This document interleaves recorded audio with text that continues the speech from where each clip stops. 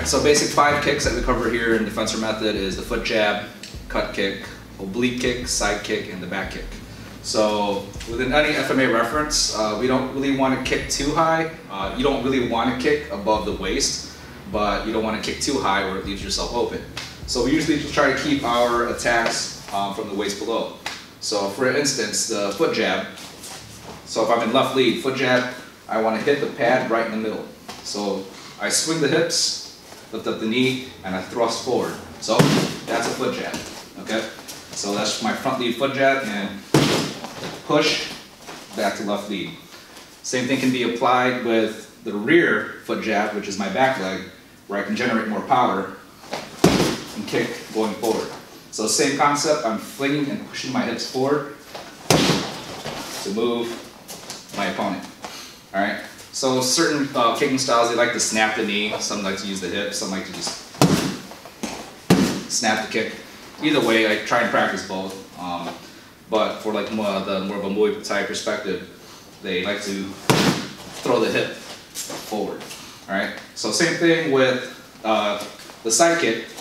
Side kick is I'm on, I turn my body 180 degree angle, and I fling my hip towards the left. So if I'm gonna use my left uh, left kick, side kick, I fling. So I can do a cross under, cross under, and do a side kick, or if I was closer, I just lift up my leg and then fling out my hip.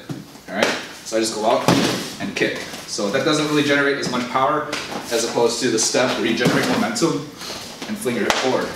So, all right, so hold on more. So from here, if I go more momentum, that will push my opponent back. Same thing can be applied where I use my rear, except I'm gonna pivot and kick. Okay, so from there, I lift up, turn my body sideways, and I kick. So that's my side kick, all right? The oblique kick, you put that uh, towards your legs. All right, so oblique kick is uh, usually from the rear leg, and it's coming down at a 45 degree angle. So I'm coming down, that's my oblique kick. Some styles call it the check kick, all right? So this is meant to attack the knee and leg. All right, so knee, inside thigh, all right? So that's from the rear leg. When I go, if I use my front leg, I have to do a half shuffle and use that oblique kick. So again, left leg forward, half shuffle, oblique kick, oblique kick from the rear leg, oblique, okay? Next one is the uh, cut kick. So again, some like to snap the knee, some just like to pivot the hip.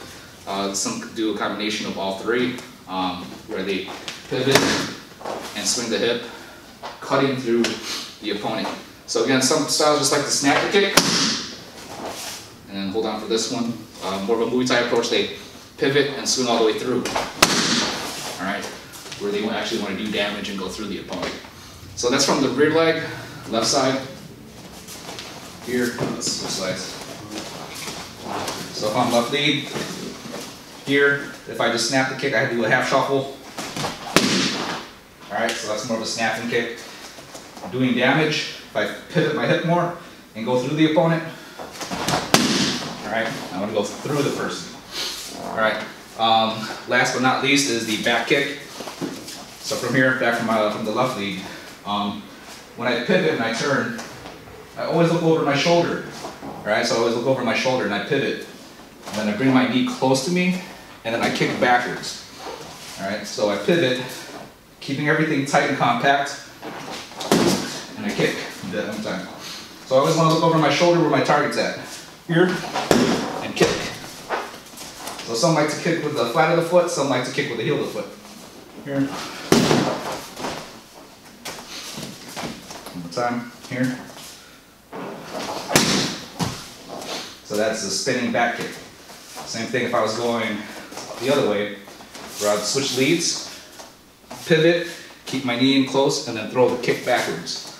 So from here, knee, kick, back to your uh, front knee fighting stance. So from the right knee position, here, right, one more time, from here. Okay, when we practice these kicks, we don't want to go past the waist, just because it might leave you open for them to catch your kick. Or if I go kick too high to his chest, he might catch. That leaves me at a disadvantage.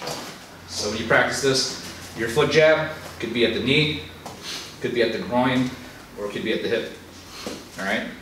Foot jab, foot jab, foot jab, cut kick, cut kick. Alright? Oblique kick. And then oblique kick could also be used to uh, to break down the hip. Boom. And if you have shoes, your oblique kick can hit and then scrape down. Alright, so that's gonna be painful. That's gonna be fun. And same thing with your back kick, could be a low line or mid line. So again, if I draw his attention high and I come back and I attack his knee, again, or I can go and attack, attack his groin, or I can go straight for the midsection where I go high and hit. Okay? So since he doesn't have armor, I'm not going full force. So I'm just showing where he can play with all those different kicks and different levels.